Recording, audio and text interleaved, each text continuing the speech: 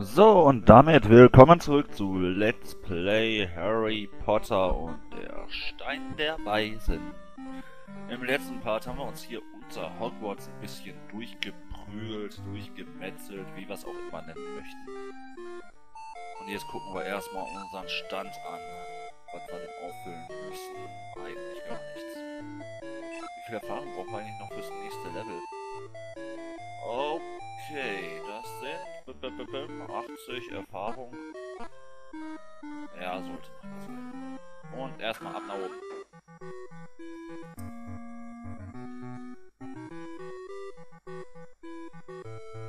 Die Erstklässler, Professor McGonagall. Wow, was für eine Ankündigung. Willkommen in Hogwarts. Einführungsfeier beginnt. Achso, die Einführungsfeier beginnt in Kürze. Wir werden feststellen, in welche Häuser ihr kommt. Gryffindor, Hufflepuff, Ravenclaw oder Slytherin. Ihr habt gemeinsam Unterricht und schlaft in diesem Haus. Mit den Punkten, die ihr für euer Haus verdient, könnt ihr möglicherweise den Hauspokal gewinnen. Psst. Ja, was sind das für Punkte? Wenn du große Leistungen vollbringst, bekommst du Punkte. Wenn du jedoch die Regeln verletzt, werden Punkte abgezogen. Am Ende des Jahres werden sie zusammengerechnet und das Haus mit den meisten Punkten gewinnt den Hauspokal. Wie werden wir denn ausgewählt? Äh, ich glaube, wir müssen mit einem Troll kämpfen. Folgt mir bitte.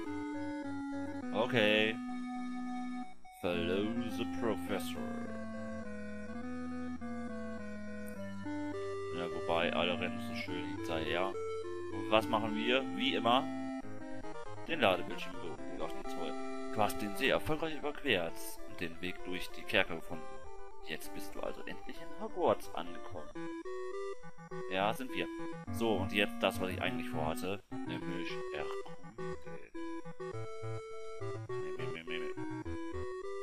Verschlossen. Meh, ist doch blöd. Verschlossen. Ist blöd. Verschlossen. Jetzt haben wir nicht hier ist auch verschlossen. Jo, Tatsache. Nutzing. Nutzing. Können wir raus. Verschlossen. Wir sind eingesperrt. Mensch. Stundengläser. Alle Häuser 50 Punkte. Naja, kleine Bildstörungen, aber liegt da noch rum.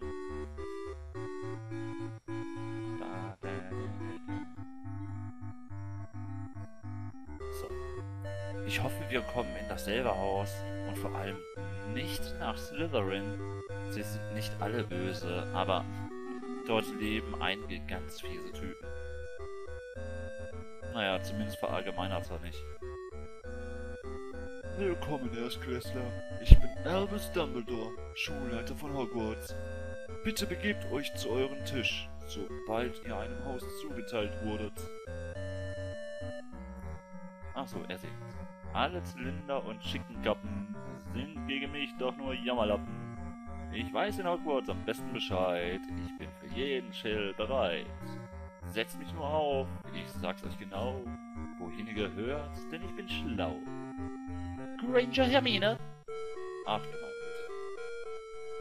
Was für ein Cut, von Lied. Gryffindor! Und das sah komisch aus. Hut frisst Kopf. Potter Harry. Na, frisst du wieder einen Kopf? Jo. Nicht Slytherin. Bloß nicht Slytherin. Nun, wenn du dir sicher bist, dann besser nach... Ach komm, Gryffindor! Ja, da musst du ziemlich lange überlegen. So. Nein, das ist doch der vom Haferbar.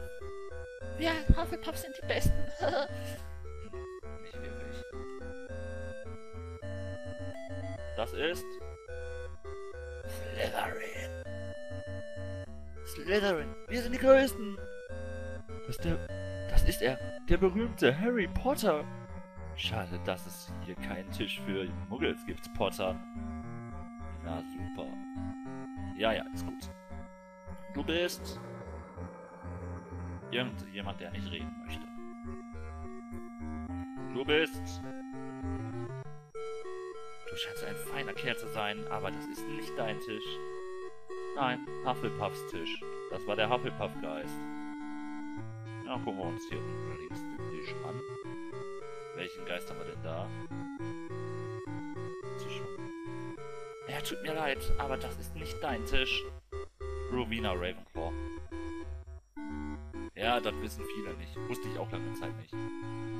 Sir Nicholas de Missy Porpington, Hausgeist von Gryffindor. Ich wohne im Turm.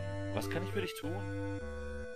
Ist das der Tisch von Haus Gryffindor? Ähm, normalerweise schon. Es ist wirklich schön, dass du bei uns bist.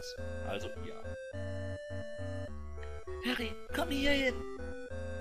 Danke, ich fühlte mich etwas verloren. Also ab zu Hermine. Und der läuft so ganz automatisch.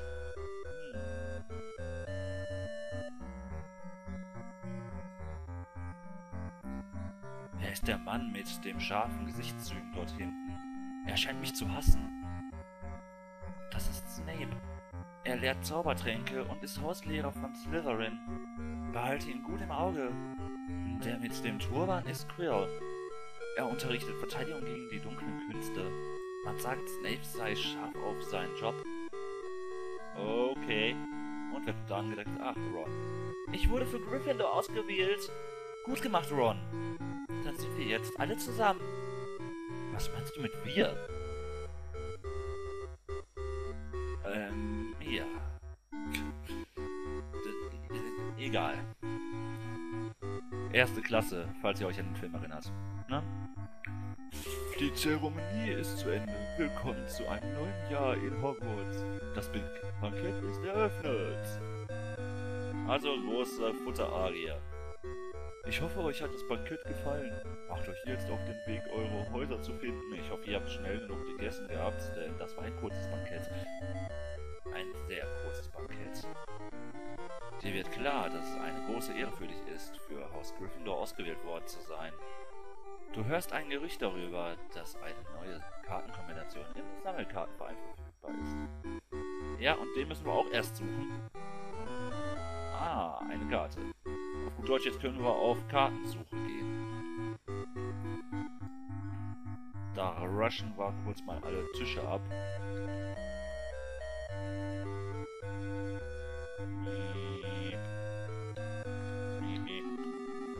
So. Einmal kurz die Tische ablaufen. Könnte ja was Interessantes dabei sein, wenn ich jedes Mal zu so einem Tisch umdrehe. Dauert das Ewigkeit. Der hat so eine gewisse Range, die er nimmt, um Karten zu finden. Das kann man sich sehr gut merken. Da war, glaube ich, eine. Jawohl. Eine Bildkarte berühmter Hexen und Zauberer.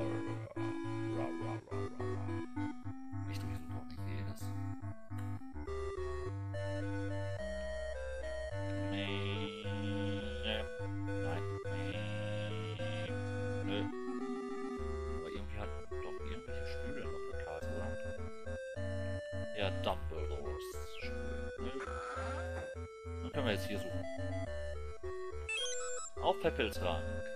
Poliert werden, ja, nee. Ja, ich lese auch nicht alles vor, aber nur so interessante Sachen lese ich vor. Alles andere müsste halt pausieren oder darauf hoffen, dass ich gerade Bock habe, es vorzulesen. Ja, ja, ich weiß, dass überall nirgends Karten versteckt sind. Ja, ja, ja, ja, ja, ja. Ja, ist gut. So, ich wusste doch, da ist irgendwo Karte. Auch wenn es nervt mit dem ganzen Angequassel. Und hier wird das noch schlimmer. Oh, der Junge mit der Brille sieht auch fast aus wie Harry war. Ist aber nicht. Ist er definitiv nicht. Oh, Kürbispastete. Schön. Okay, da habe ich jetzt alles durchgesucht. Ja, genau, gesucht. Nicht gesuchtet. Suchten tun wir später. Schon schlimm genug, dass wir den Gryffindor gesucht haben. Ja, ja, immer diese Süchte. So, so, so, so, so. Sind jetzt die Räume offen? Ja! Jetzt können wir das Erdgeschoss durchsuchen. Tiefenschröder. Was soll man damit? Werden wir es noch rausfinden in diesem Part? Ich befürchte ja. Kartenkombi.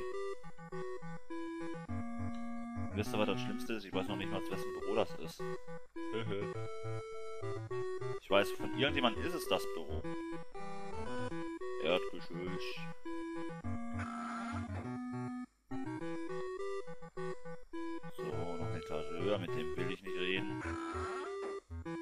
Weiß ja, wo ich hin muss. Ah, das war das Büro vom Filch. Oder Filch. Keine Ahnung, wie der richtig ausgesprochen wird. Noch eine Karte. Ja, ja, diese Karten, die sie überall konfisziert haben. Echt schlimm, sowas. Ja, da ist aber auch nichts wirklich Interessantes. Hier was Interessantes noch drin? Ich glaube, da war irgendwo was. Ich weiß noch nicht wo. Ah, da. Kessel. Damit haben wir das auch. Da die Tür möchte ich nicht. Jetzt wird mich gesucht. Mal wieder.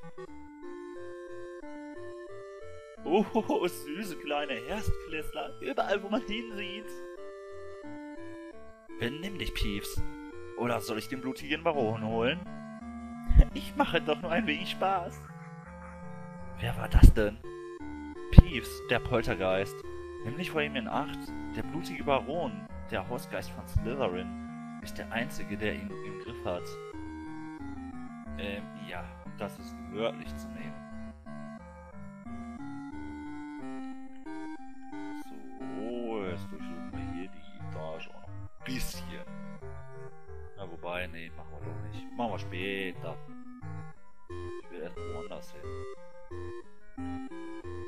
Unser Ziel war, Gryffindor Gemeinschaftsraum finden, ne? Gehe nicht in Klassenräume, in denen gerade Unterricht stattfindet. Die meisten Lehrer ziehen dir Hauspunkte ab, wenn du ihren Unterricht störst. Äh, nicht gut. Gar nicht gut. Auf gut Deutsch aber nicht wissen, ob Unterricht ist, da können wir einfach mal so rum. Einer der Greifenvögel bringt dich zu einem anderen Stockwerk, ohne dass er sich bewegt. Okay. Kesselkuchen. Der Greifvogel wird es nicht gewesen sein. Eine der Greifvogelstatuen kann dir dabei helfen, in einen anderen Korridor zu gelangen. Ja, dann kann es aber eigentlich nur noch der sein. Ja, und es geht nach oben. Das sind einfach so die Geheimgänge, wo man abkürzen kann, und zwar ganz gewaltig. Sei vorsichtig, wenn du unbenutzte Klassenräume gehst. Du könntest dort auf unheimliche Dinge stoßen. Ja, das stimmt. Kümmern wir uns jetzt aber nicht drum. Da kümmern wir uns in die ganzen anderen Klassenräume später drum. In diesem Part habe ich ein anderes Ziel vor Augen.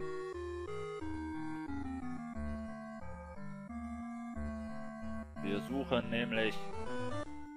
Nein, keine Bildkarten von nächsten Zauberern, aber schön, dass wir eine haben. Ich schaue unaufhörlich in diese große Kristallkugel, aber ich kann die Zukunft einfach nicht sehen. Ah ja. Du bekommst 176 Sickel, nicht so viel auf einmal. So, das sieht doch... Ja, eine fette Dame. Und wer sich ans Buch erinnert und so weiter, ne? Können Sie sprechen? Wieso sollte ich nicht sprechen können? Wissen Sie, wo Gryffindor ist? Natürlich weiß ich das. Ich bin die Wächterin von Gryffindor. Okay. Wie kann ich dort hineingelangen? Du musst mir das geheime Passwort nennen. Aber wie lautet das Passwort? Es wäre doch kein Geheimnis mehr, wenn ich es dir einfach verraten würde. Kleiner Dummkopf, du musst es schon selber herausfinden. Danke. Ah, dann suchen wir uns wieder ein zurecht. Hier oben auf der Etage muss doch irgendjemand geben, den wir anquatschen können dafür, oder? Ah, scheinbar nicht. Ah, Geheimgang wieder. Cool, gucken wir aus. Hier. Aber so geheim ist der Geheimgang gar nicht. Nochmal, Sickel. Schön. Du weißt doch, Matthias. Ich habe gehört, dass es an der Ostseite des Korridors eine Abkürzung zum sechsten Stock gibt. Ja, toll. Das interessiert mich jetzt aber relativ wenig. Ich will das Passwort. Kennst du das Passwort für Gryffindor? Der fast kostenlose Nick residiert schon sehr lange in Hogwarts. Vielleicht kann er dir ja helfen. Ja, und wo ist Nick? Du bist lustig. Das heißt erstmal alle Etagen absuchen. Man kennt das ja. Falls ihr euch wundert, was das hier ist, das sind Google-Artefakte. Normale nicht mal hier. So, ne? So, wo ist Nick? Nick, ich suche dich. Wo bist du? Was du? Ja, hier. Kennt Sie das Passwort, das man braucht, um nach Griffin dort zu gelangen? Ich wäre ein schlechter Ausgeist, wenn ich es nicht wüsste. Wie lautet es? Nun, du könntest mir zuerst einen kleinen Gefallen tun. Was für einen Gefallen? Diese Korridore sind manchmal ziemlich zugig. Wenn man nicht aufpasst, fliegt einem gerade dann der Kopf weg, wenn man es am allerwenigsten erwartet. Vielleicht könntest du etwas dagegen unternehmen. Äh, was denn zum Beispiel? Na, eine alte Schulkrawatte würde mir schon weiterhelfen. Kann ich denn eine finden? Ich glaube, ich habe eine in der Eingangshalle gesehen. Auf gut Deutsch, jetzt müssen wir irgendwie zur Eingangshalle kommen. Du ganz toll. Dankeschön, Nick. Gab es da nicht aber auch irgendwo Geheimgang? So als Abkürzung? Sickel. Ich war mir eigentlich sicher, dass es irgendwie einen Geheimgang noch gab.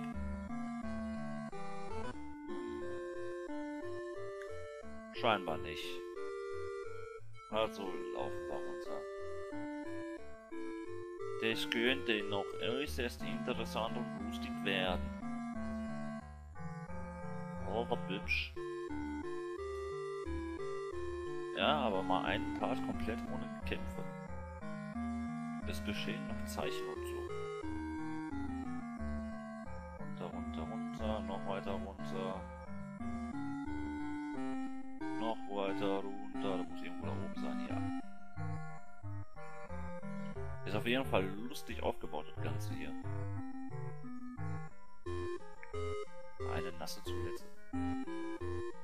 Okay, ich gebe zu, das war jetzt gerade hirnverbrannt.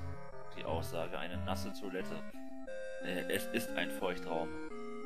Das ist also vollkommen normal, dass so eine Toilette ein bisschen feuchter ist oder nass. Ach, egal. Aber nicht so nass. Zum Glück spiele ich hier nicht blind, deswegen weiß ich wo. Die schlucken einen Wasserspeier bewachen die Eingangstür des Aufenthaltsraums. Der Lehrer, nachts jedoch schlafen sie. Ah, okay. Ist aber wach. Oh, eine alte Schulkrawatte. Sehr, sehr nice. Dann können wir jetzt wieder richtig nach oben ziegern.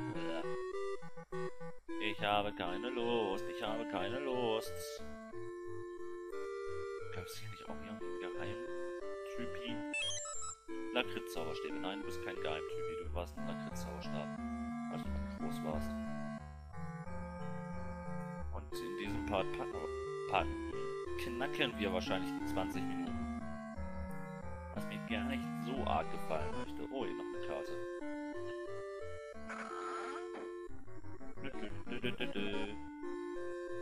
Ich finde, das sieht lustig aus.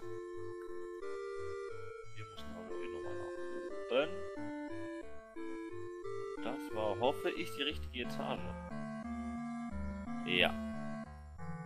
Können Sie diese Krawatte gebrauchen? Gibst alte Schulkrawatte. Sieht aus wie ein Fisch. Genial! Damit bleibt meine Birne da, wo sie hingehört. Das Passwort lautet Caput Draconis. Bis später dann. Oh, Gott sei es gedankt, damit haben wir das Passwort gefunden. Endlich. Wir haben das Passwort, wir haben das Passwort, la la la la la la. Jetzt müssen wir nur noch wieder den Gang finden. Da ist er. Und? Hallo, da bist du ja wieder. Caput Draconis. Willkommen in Gryffindor, mein Kleiner. Geh hinein. Willkommen in Gryffindor, Harry. Sieh dich nur um. Bin so froh, dass ich endlich hier angekommen bin. Ja, ich auch. Und du hast Gryffindor, dein Haus in Hogwarts gefunden. Hier wirst du leben und lernen. Damit sich jeder zu Hause fühlt, wartet eine Kartenkombination im Sammlerverein auf ihn. Uiuiuiui. Ja. Damit haben wir die Suche nach Gryffindor endlich mal abgeschlossen. Oh, und ich denke mal, das war's dann auch für diesen Part und im nächsten Part gucken wir, was uns noch hier in Hogwarts so erwartet. Ich danke euch fürs Zuschauen und bis zum nächsten Mal. Ciao!